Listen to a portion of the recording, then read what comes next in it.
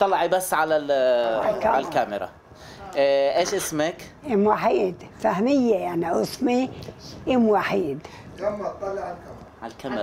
لازم تطلع على الكاميرا قديش عمرك؟ عمري 90 آه، مي- مين جوزك؟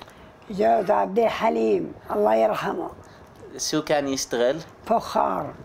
آه، وولاده كم واحد؟ فخار. سبع أولاد فخار. هم وأولادهم. Tamam. You don't choose to be a potter in Hebron. Since time out of mind, this calling has been passed down from father to son. Many have abandoned the craft over the last few decades, although the products have diversified and orders are on the increase. Seven families were still potters in the early 1970s. Since then, the number has fallen to four. Due to local taxation and transportation problems between the Palestinian territories and Israel, the profession is becoming less and less viable. The younger generation dreams of better wages.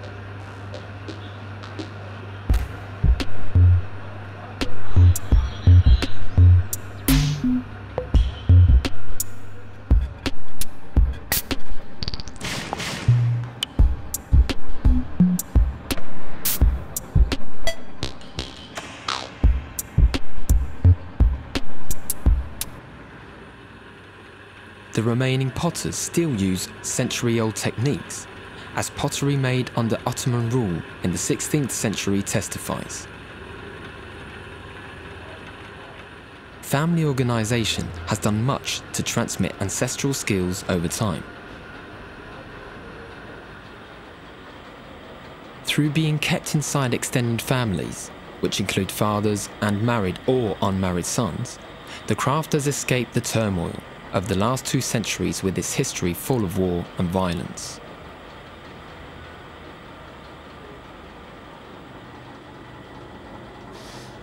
In 2019, the four Potter families of Hebron amounted to about 50 people, including the young and not so young.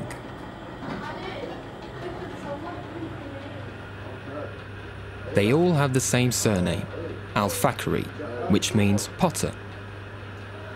أنا عبد السلام الفاخوري من الخليل أعمل في صناعة الفخار آه، تقريبا من 30 عام آه، من مدينة الخليل. اسمي أحمد الفاخوري عمري 27 سنة من مدينة الخليل أعمل في صناعة الفخار منذ 17 عاما. أنا حماد الفاخوري بشتغل في مصنع فخار إلي 25 سنة عمري 36 سنة و25 سنة إلي بشتغل فيها. وتعلمتها من أنا عمري 10 سنين. عن أبي وجدي اسمي هشام الفاخوري عمري 49 سنة وإلي 44 سنة بشتغل في هالشغلة. اسمي حسين الفاخوري عمري 58 سنة إلي 35 سنة في الشغلة هذه. اسمي محيي الفاخوري عمري 25 سنة إلي 15 سنة بشتغل في هالشغلة والحمد لله رب العالمين. أنا شاكر نعيم الفاخوري آه، عمري 47 سنة صار لي 30 سنة بشتغل في شغلة الفخار أنا اسمي عنان الفاخوري طبعا من الخليل وإلى حوالي هون يمكن 20 سنة بنشتغل في المصنع هذا في مصنع الفخار اسمي محمد صلاح الفاخوري وعمري 25 وإلي بشتغل بالفخار حوالي 10 سنين اسمي حلمي الفاخوري وصار لي 10 سنين بشتغل مع أبي بالمحل هذا I'm Shukri Al-Fakhouri. I'm uh, 47 years old. I uh, uh, work in this job, uh, pottery making, since about uh, 20 years ago. The families are settled on neighbouring plots of land, only a few hundred metres apart, purchased in the 1960s in Alfaz, an industrial area two kilometres south of Old Hebron.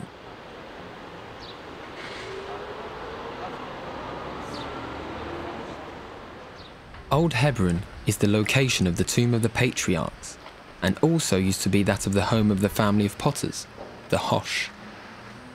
The living quarters on the first floor and the workshops on the ground floor were built around the central courtyard.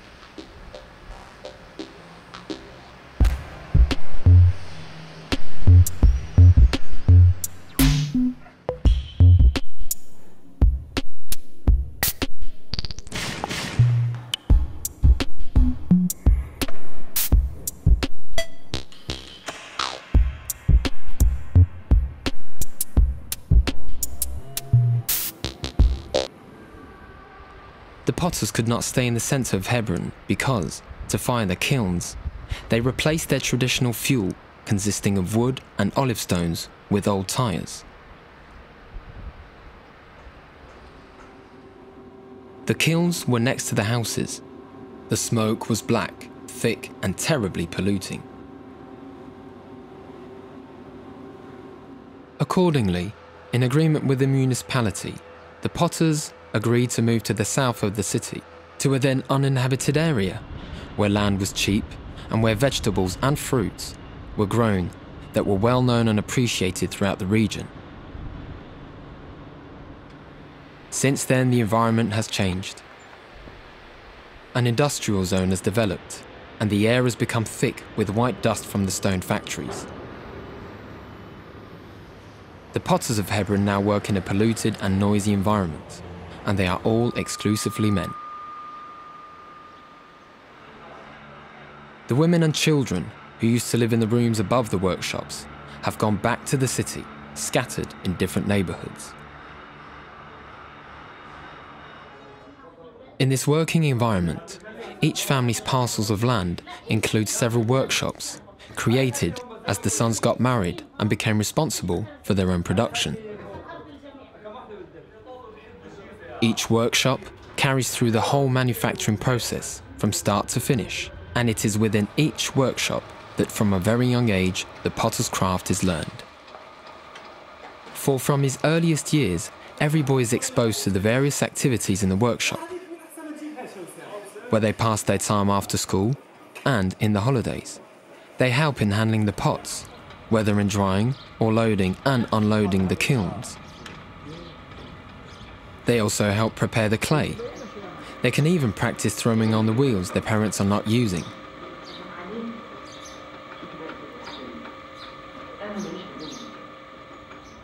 Some decide to quit school at the age of 13 to 14 to work full time. The previous generation started the craft at the age of 8 to 10.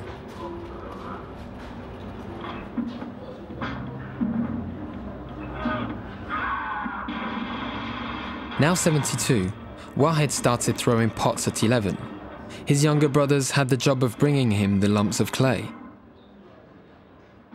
He already knew how to throw vessels of all shapes and sizes when he was only 17. From the age of 15, he was in charge of firings. Wahed says, A good potter is one who prepares the clay well and who can throw any shape or size while keeping the right proportions.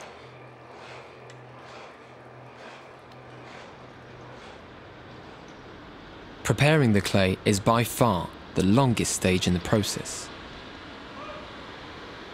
It takes place between April and October, the warmest months, when the clay can dry quickly. Preparing the clay well means balancing the proportions between the yellow and red clay, the two clays extracted in the region and whose properties are complementary.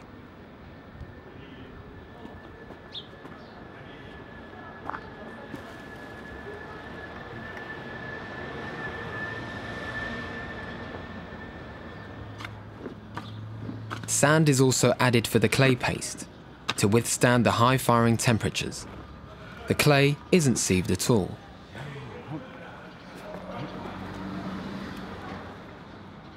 The two types of clay and the sand are first mixed with water in electric mixers for about an hour.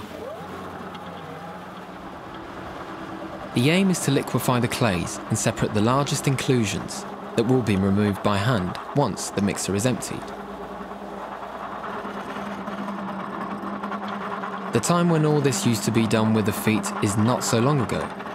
The mixing tanks are still there to remind us. They are next to the soaking tank. They are now used as reservoirs into which the overflow from the soaking tank is poured. This water is then pumped back into the electric mixer. It takes more than 10 mixers to fill a soaking tank whose dimensions vary from one family to another. A pipe connects these two installations. When the mixer outlet is opened, the clay liquid flows into the pipe and spreads into the soaking tank, after passing through the mesh of a nylon sieve. The clay liquid rests in the tank for several days, the time needed for the hydration of the clay particles, both coarse and fine.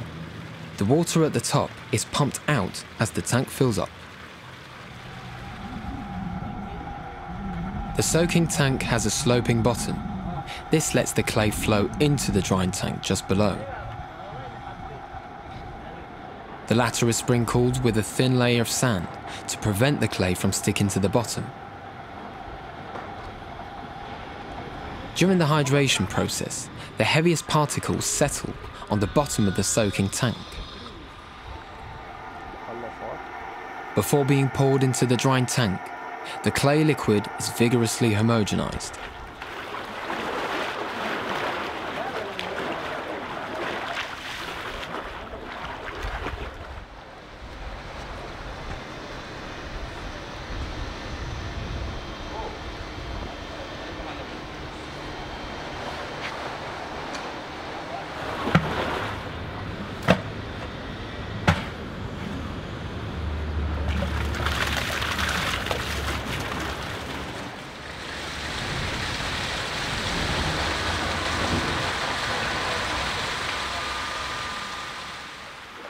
Clay liquid spreads until it is about 30 centimeters thick.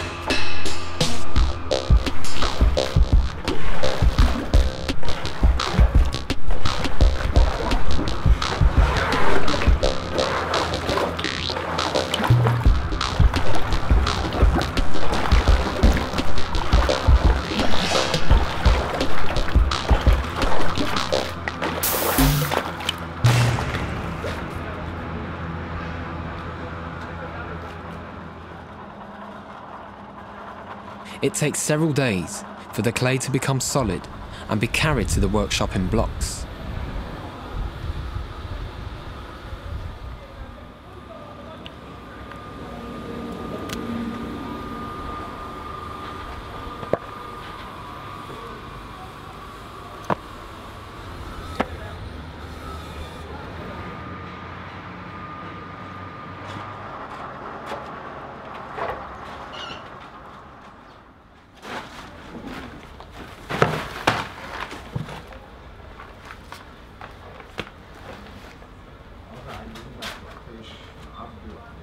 Before being used, the clay is kneaded to eliminate voids and distribute the coarse inclusions evenly.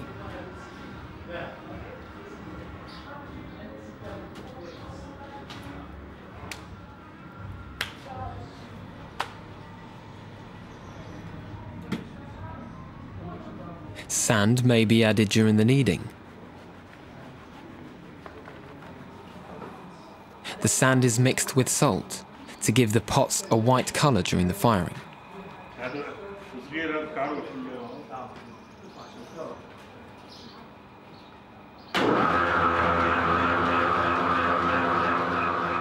Nowadays, the kneading is entirely mechanised and carried out with a pug mill.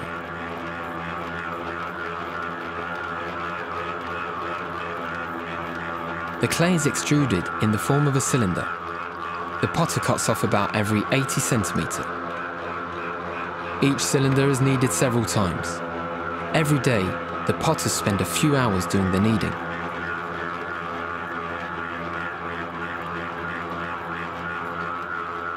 The most difficult task to master, the one that really puts the potter's skill to the test, is without doubt actually throwing in the pots. The method is unique and also practiced in Egypt, but nowhere else to our knowledge.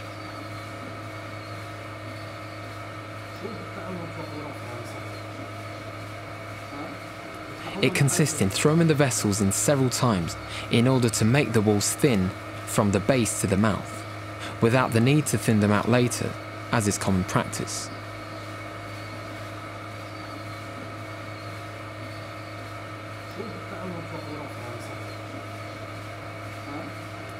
General principle is to avoid the risk of collapsing. This risk determines the method, which the potters themselves call roughing out by the base or roughing out by the opening.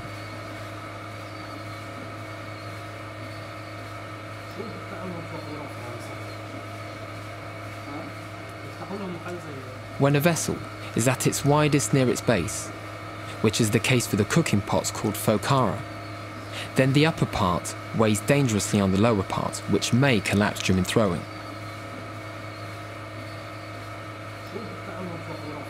To avoid this risk, the potters start with the opening and the upper part of the vessel. The base is kept very thick. It constitutes a clay supply.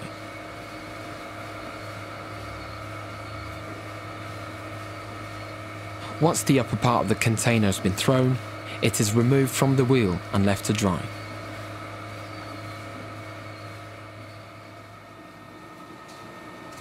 Next, the vessel is placed back on the wheel, upside down.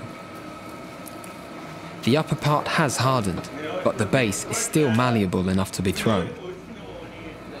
The potter perforates the base, which is several centimeters thick. He then gradually thins the walls until he has an enlarged lower part and a rounded formed base.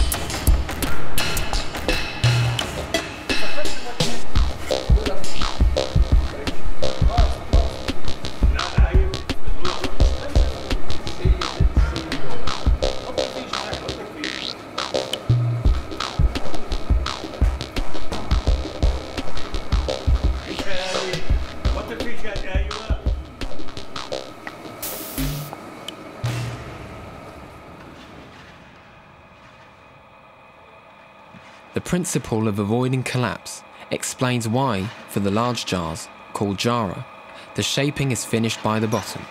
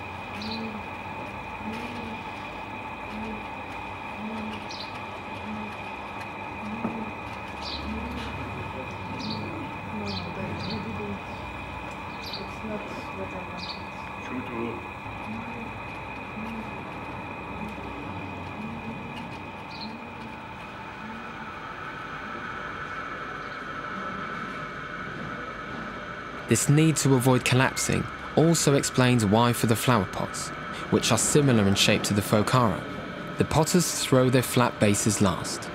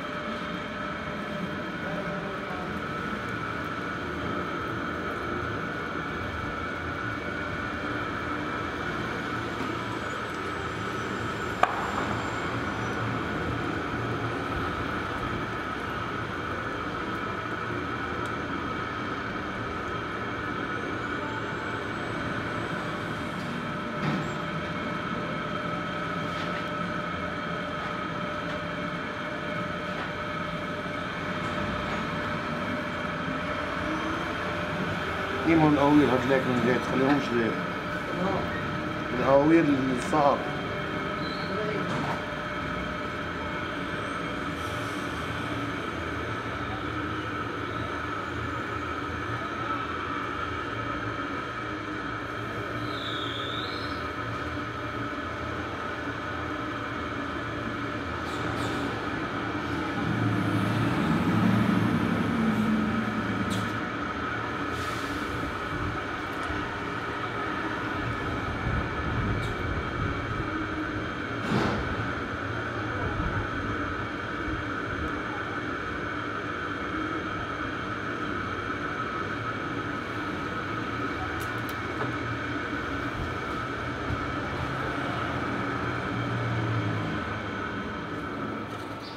If the vessel is at its widest in the middle or near the top, the potters start with the lower part and the base.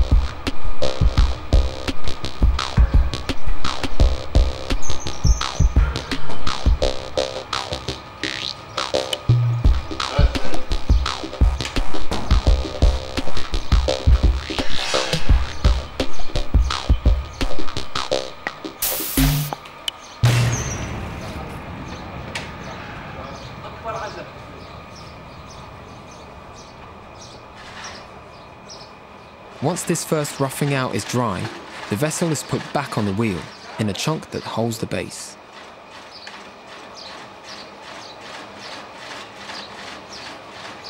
The potter perforates the mass, left as a supply of clay, thins the walls of the upper part and shapes the mouth.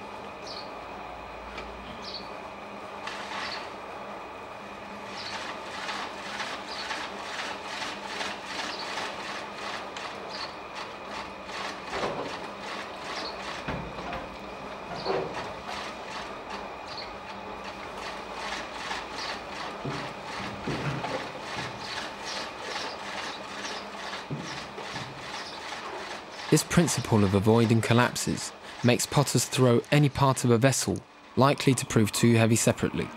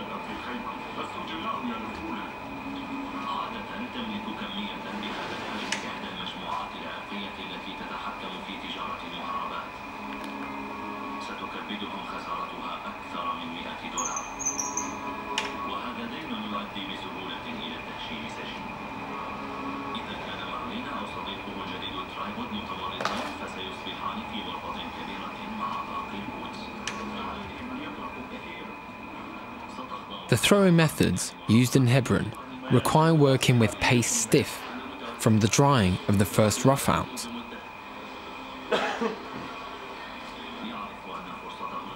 They also mean estimating the diameters of the parts to be assembled by the naked eye, without any measuring instruments.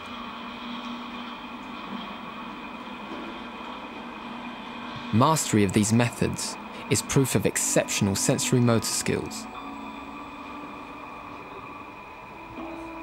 traditional buildings, they comprise of vertical walls and horizontal roofs. The project is quite different. We hear that this job is going to be extremely challenging, not just in terms of architectural design, but also in terms of construction. You need to marry traditional construction techniques to having free-flowing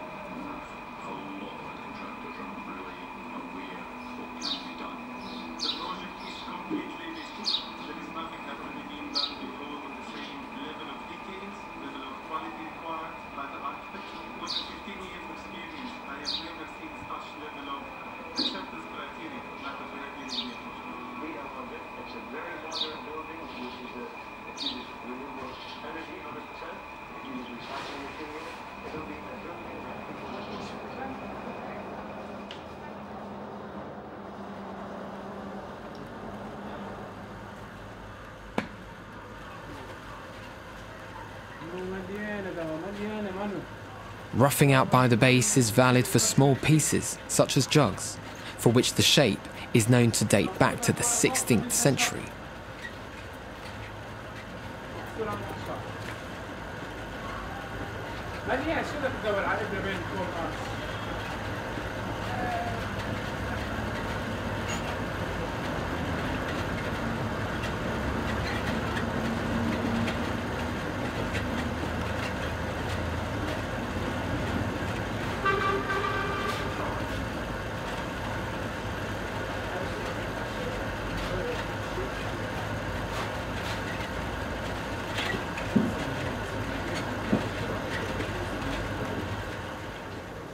Once the base is dry, the jug is repositioned on the wheel in a chuck. The neck is shaped from the clay supply, then detached and set aside.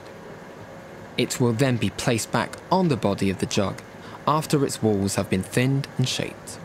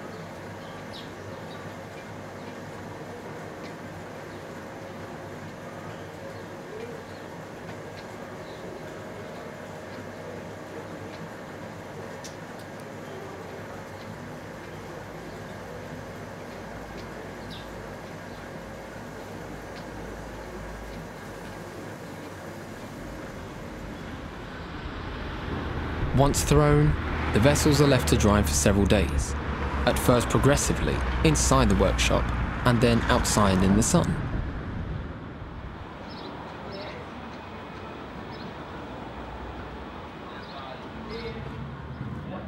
When dry, they are stored indoors waiting to be fired.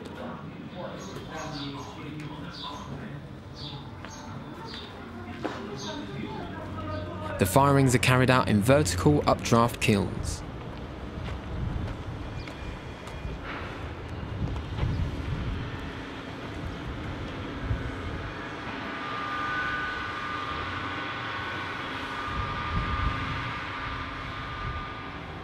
Where the pots are stacked is topped by a dome, typical of the Arab Muslim architecture, very common during the Ottoman period.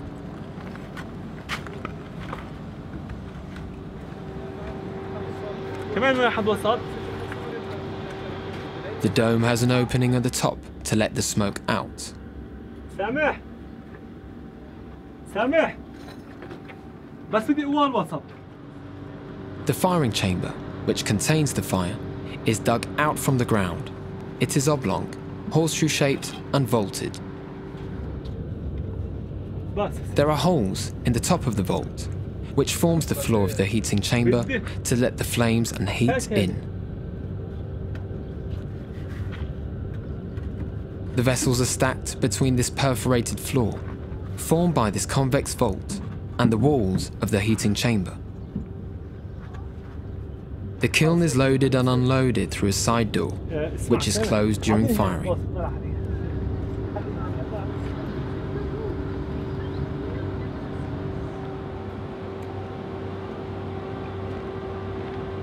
The fire is gradually fueled with used tires.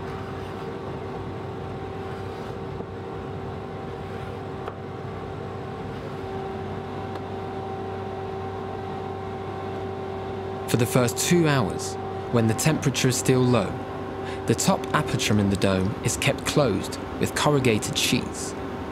Then, when the fire is fiercer, the aperture is opened to create a draught. When the flames come out of the aperture and the pots turn bright red, it is the sign that the maximum temperature has been reached.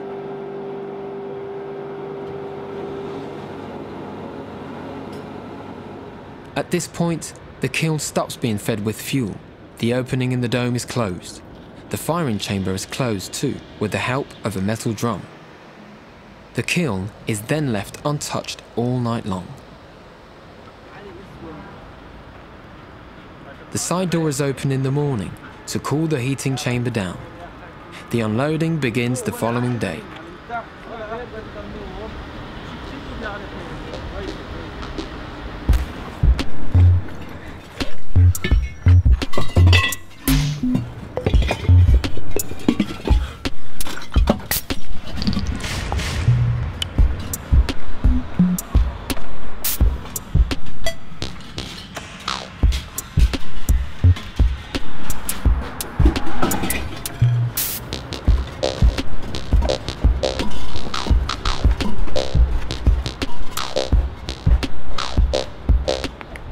Potters produce utilitarian and decorative pots.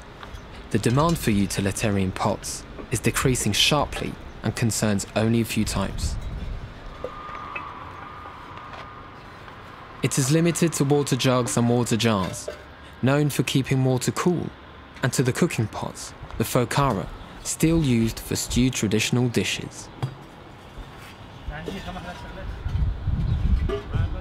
The oldest potters remember manufacturing up to 12 types of vessels in their youth, intended to store or serve various solid and liquid products.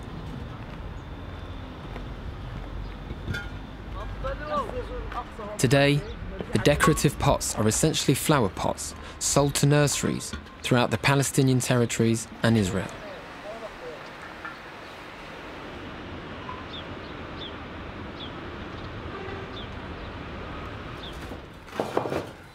Make the craft less and less viable, even though the orders keep increasing.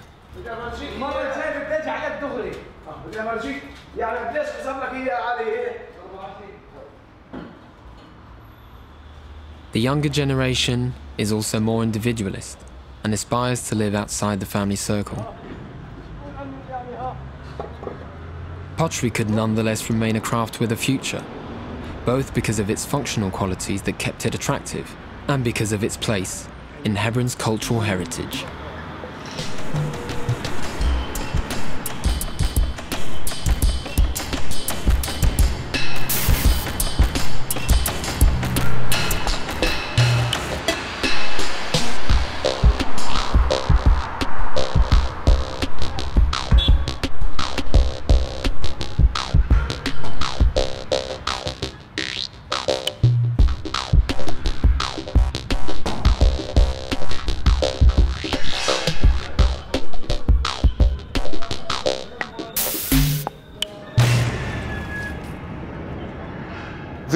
A material, it was in the past uh, very essential in the society, you know. All uh, the people use the pottery in their homes. Uh, but after the electricity and after the development, uh, the pottery became uh, something, yani, it's not important like in the past. Uh, but it's still working, but not, not like the, in the past. The pottery is a very ancient manufacture. I told you it's, it's an art. If, if the person don't love how to make pottery, he will not learn it.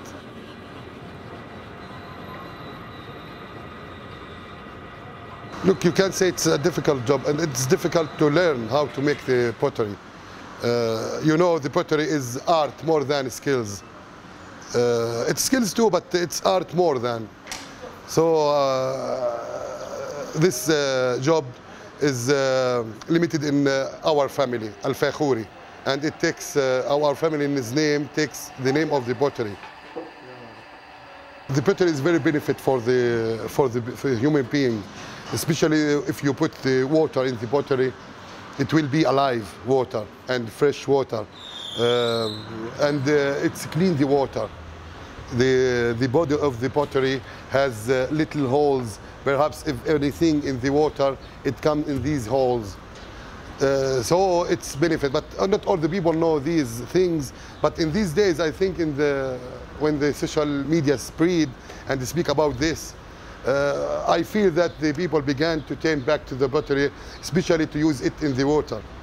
They feel that uh, they, they see an artist making a piece, beautiful piece.